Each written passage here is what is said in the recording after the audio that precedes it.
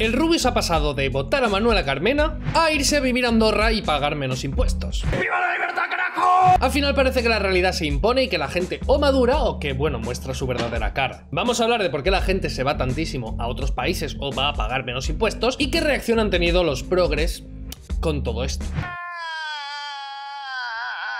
Este vídeo es grosero y real, la edición es mala es políticamente incorrecto. Debido a su contenido, le recomendamos que no lo vea. Bienvenidos a Libertad de lo que surja. Esto es Coto Caza Prore, porque las chorradas progres las cazamos al vuelo y efectivamente vamos a hablar de los lloros, de los progres y bueno, y por qué está ocurriendo lo que está ocurriendo, porque hay tanta fuga de personas que van a pagar otros sitios los impuestos. Y si eso pues eh, les hace malas personas o si eso es malo o qué pasa con eso.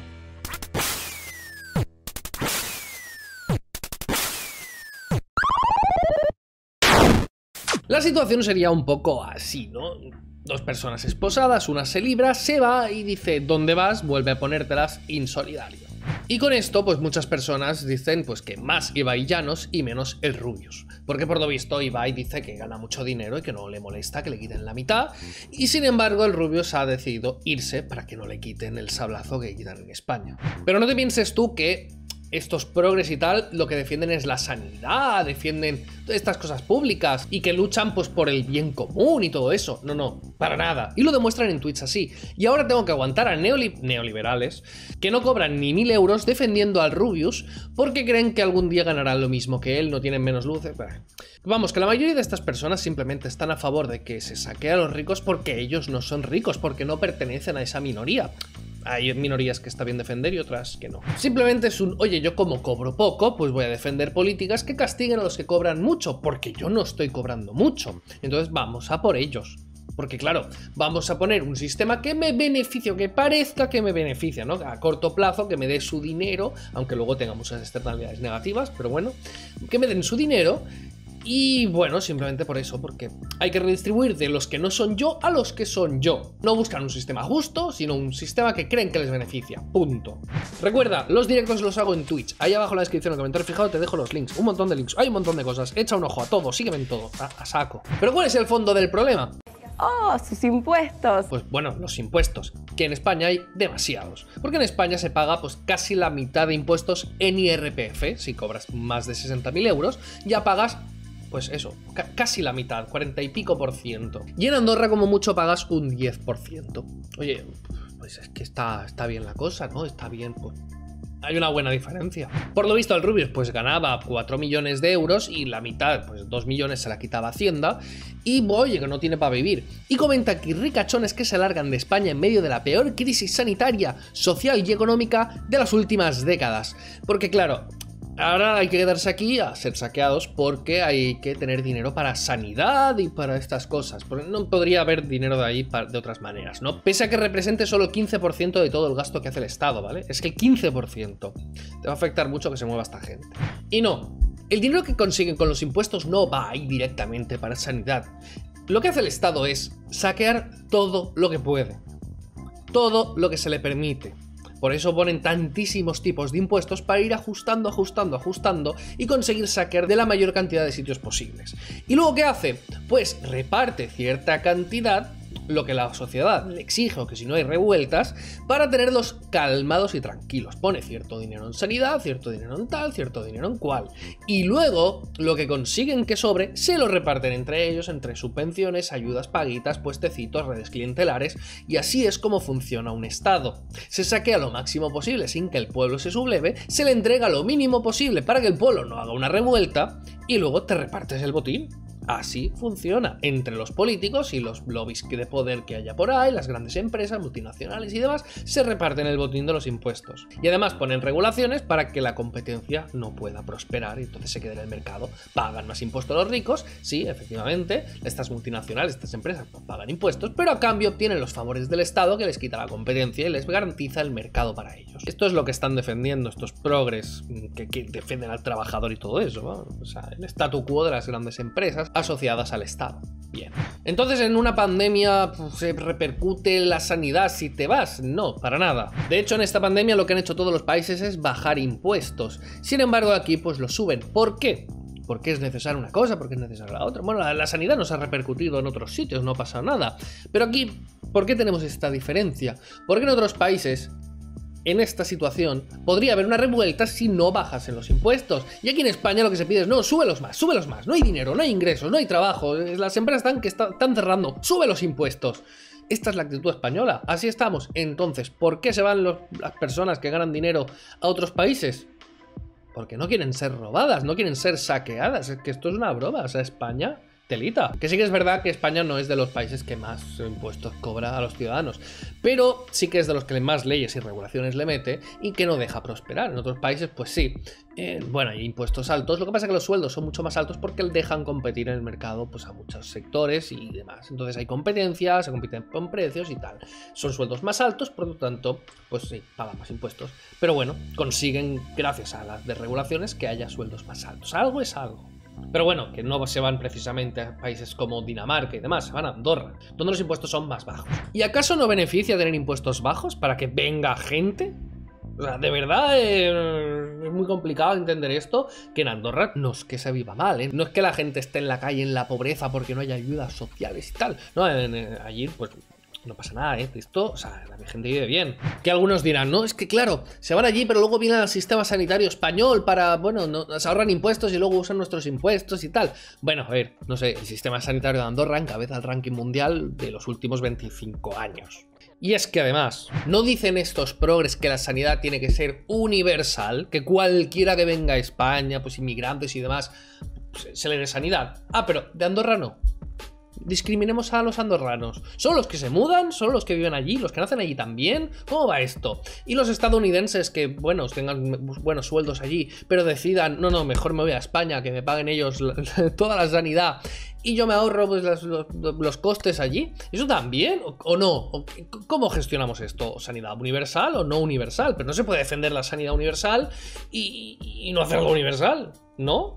Tiene todo el sentido del mundo irse a Andorra a ahorrarse impuestos y luego, pues, venir aquí a España, oye, pues si no la queréis universal, pues toma universal. Porque sí, sí, hay mucha gente diciendo que le quiten la nacionalidad y no le permitan volver. Madre mía, pero delincuente para mí lo es cuando no paga al menos 2 millones de esos 4,3. Increíble. Que le quiten la nacionalidad simplemente por, por haberse ido. No, no, hay que dejar entrar a gente de Andorra, de qué más sitios. O sea, ya está mal España, que encima, no, el turismo fuera. No dejemos entrar turistas. No, el Rubius, que tiene millones. No, que no venga a gastar aquí, que no venga a comprar cosas aquí. No, no. Que nos sobra el dinero. Mejor que no, que no venga. Esto es te montar el muro de Berlín en cuanto lleguen al poder, ¿eh? Madre mía. Y delincuente por, por, ¿Por, qué? O sea, se ha ido de unas leyes muy abusivas a otras menos abusivas. Pero ha cumplido la ley en todo momento. Y es que mucha gente comenta, ya no es buen chaval, ahora es un nuevo rico asqueroso que huye con su dinero y deja su dignidad atrás. Vamos a ver, ¿Por qué ese dinero te pertenece? O sea, no puede defender su propiedad, su patrimonio. Se lo ha ganado él. Entonces, es suyo. O sea, esto de. No, no. Ya tiene mucho. Ya, es que ya es mucho. O sea, 4 millones es una barbaridad. Que dé la mitad. ¿Y por qué no más? A ver, con 100.000 euros al año también se vive. Por lo tanto, que le quiten 3,9 millones y le dejen, pues eso, el 0,1. que con eso también se vive, ¿no? Vamos a ver. Hay que entender una cosa. La situación del Rubius no es la situación de cualquier persona que consiga ese dinero. Es algo, pues, vale, es algo, pues, artistas y demás. Que bueno, es un tío que estaba en el ordenador hablando de sus cosas y de golpe pues ha tenido una locura, ¿vale? Pero es que la gente que llega a esa millonada suele pasar por muchos más problemas. Y entonces le quieres quitar también un montón de pasta a esos, ¿no? Como tú ves en el Rubius, que, bueno, oye, que hace poco, mm, vamos a quitarle. También quieres quitar, pues, a la persona que pues se ha arriesgado, ha invertido muchísimo dinero, ha creado puestos de trabajo, ha reducido el paro, ha creado empleos, ha creado mucha prosperidad, a ese también. Porque claro, si subes el IRPF a uno, también se lo subes a otro. No, solo a youtubers. ¿Cómo va esto? Entonces, la persona precisamente que crea puestos de trabajo, invierte y tal, si luego le vas a castigar saqueándole un montón, no va a crear menos puestos de trabajo, no se va a arriesgar menos. ¿Para qué va a invertir cierta cantidad de dinero? Si luego le vas a quitar un montón. O sea, no tiene rentabilidad. De hecho, le sale mejor irse a otro país que le permita invertir y que luego le quite menos. Es más rentable, por lo tanto habrá más puestos de trabajo, más prosperidad, más riqueza, más capitalización, sueldos cada vez más altos en países donde se saque menos. De hecho, eh, por muy mileurista que seas, te interesa que los ricos paguen pocos impuestos para que vengan aquí, para que compren aquí, para que inviertan aquí, para que creen puestos de trabajo. Y en el momento en que haya más puestos de trabajo y que haya bajado el paro, pues las empresas acabarán teniendo que competir para contratarte, que es lo que pasa en los países donde hay poco paro. Y además no solamente está el IRPF, que te quita casi la mitad de lo que ganas, es que también existe el IVA, que mucha gente lo olvida. El Rubius no pagaba IVA, porque si cobras de fuera de España, pues está exento, ¿no? A nivel internacional, pues no se paga IVA. Sin embargo, la persona que esté trabajando, que haya montado su empresa, su negocio, lo que sea, y esté cobrando facturas de dentro de España, está pagando el 21% de IVA y luego de lo que le queda está pagando la mitad. O sea, está pagando, pues, yo qué sé, casi el 70% de lo que gana en impuestos? ¿Es justo esto? Es que yo alucino, de verdad. Y claro, si subes el IRPF al rubio, se lo subes también a ese tío que está pagando ya casi el 70%. No sé yo si esto es de verdad muy justo, ¿eh? O sea, este saqueo hasta debería ser anticonstitucional, porque de hecho en la Constitución pone que los impuestos no pueden ser confiscatorios, y ya me dirás tú si eso no es un impuesto confiscatorio. De hecho, estos impuestos progresivos, el ir pagando cada vez más cuanto más cobras, tiene otro problema que la gente no tiene en cuenta. Estos trabajos muy extremos que duran poco tiempo, yo que sé, pues deportista de élite, cosas que no se pueden hacer toda la vida, cosas que llevan tu tiempo íntegro, que dedicas toda tu vida a ello, todos los años, estás todas las horas haciendo eso y que te desgastan tanto que no puedes seguir en el tiempo. Pues claro, en estos, en estos tipos de trabajo que cobras en unos años específicos, te quitan un montón. Y si ese mismo dinero lo hubieses ganado a lo largo de toda tu vida, te hubiesen quitado menos. Esto es justo. O sea, una persona que trabaja 16 horas entrenando, haciendo no sé qué, o, pues, lo que sea, durante la mitad de tiempo, una persona que va trabajando 8 horas, que en el fondo ha trabajado lo mismo, tiene que cobrar menos la persona que ha trabajado 16 simplemente porque los ha apilado juntos. Yo no lo veo justo, la verdad. Es que solamente tiene un nombre insolidario de M. O sea, hace falta mejor Ibai, gente como Ibai, que, quiere pagar muchos impuestos. Mira, la verdad, yo prefiero, ojito, si Ibai quiere ser generoso y quiere que le llegue el dinero a la sanidad pública, a la educación o a lo que quiera él, que defienda él, lo mejor que podría hacer para beneficiar a la sanidad española es irse a Andorra. Y una vez en Andorra, coge todo el dinero que se ahorra en impuestos, lo coge entero y se lo da directamente a los hospitales, sin que pase por las manos de los políticos. Que no llegue solamente el 15% de los recaudados, sino que llegue el 100%. Coja y toma, todo. Si de verdad Ibai quisiera pues favorecer a este estado del bienestar, a gente tal, lo que haría sería a Andorra y con lo ahorrado lo daría. Lo que pasa es que, claro, es muy fácil ser solidario fingir ser solidario cuando te quedas en España por otros motivos no sé, en España pues te lo pasas mejor, tienes pues a la gente, a los amigos, pues a las groupies, yo qué sé, igual tiene un montón de groupies y cada día pues a dos o tres. Pasan por su cama dos o tres y venga, se hincha y en Andorra, claro, no tendría lo mismo. claro, en Andorra que eh, ahí con la nieve y tal, pues bueno, no es lo mismo. Entonces, claro, hay muchos que se deben quedar por eso, o por la familia, o por no sé qué, o por no sé cuántos. Pero bueno, entonces, claro, tú te quedas por esos motivos y luego dices, no, no, eh, yo aquí soy... Cuando en realidad lo que haces es hincharte a... ¿Quién sabe? Que todo puede ser. Pero queda muy bonito decirlo. Si de verdad quisiese ayudar a la sanidad, que se vaya Andorra y done. Todo. Es todo lo que se ahorre. Pero no, no, no lo veo haciéndolo. Y es que esto es un claro ejemplo de lo que fomentan estas políticas de no, que lo paguen todos los ricos, que, los ricos se encarguen de todo, vamos a prometer y vamos a gastar de todo y que lo paguen los ricos. ¿Y qué hacen los ricos? Irse y con razón. Es que es, obvio. Claro que se van a ir. Madre mía. pero no aprendemos, no, no traemos capital aquí, no, no somos capaces de entender la mentalidad de, pues de prosperidad. No, no.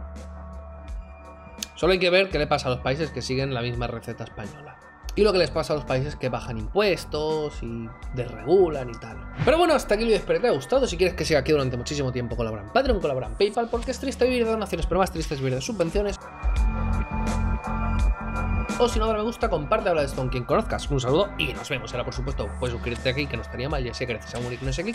O si no, ver más vídeos aquí, os dejo algún y luego... Este vídeo es humor y parodia. Si le ha ofendido, tome la medicación que le ha dado el psiquiatra. Si le ha gustado, le recomendamos que se suscriba y le dé me gusta. ¿En serio? Y bye. Eh, eh, ve, ve Andorra y dona, hinchate a donar. Un montón. Dona a saco.